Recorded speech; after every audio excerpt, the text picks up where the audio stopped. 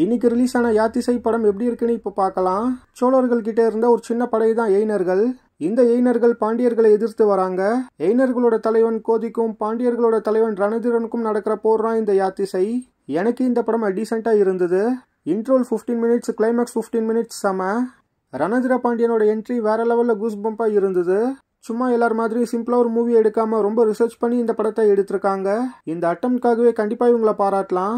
Making இந்த மூவியோட ஒரு பெரிய ப்ளஸ் எய்னர்களோட ஹெட்டாக வர கோதிக்கு தான் இந்த படத்தில் ஸ்க்ரீன் டைம் அதிகம். ரணதிரன் கோதியை கம்பேர் பண்ணுறப்ப கம்மியான நேரம் வந்தாலும் அந்த கம்மியான நேரத்திலே செம்மையாக ஸ்கோர் பண்ணுறாரு இன்ட்ரோல் ஃபிஃப்டீன் மினிட்ஸ் கிளைமேக்ஸ் ஃபிஃப்டீன் மினிட்ஸை தவிர்த்து நடுவில் வர நிறைய இடங்கள் லேகாக தான் போச்சு.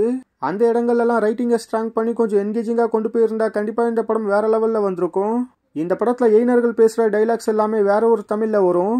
ஸோ அந்த தமிழுக்கு தனியாக ஒரு தமிழ் சப்டைட்டில்ஸ் போடுவாங்க. ஸோ நிறைய இடங்கள்ல அந்த தமிழ் சப்டைட்டில்ஸை படிக்கிற மாதிரி இருக்கும்.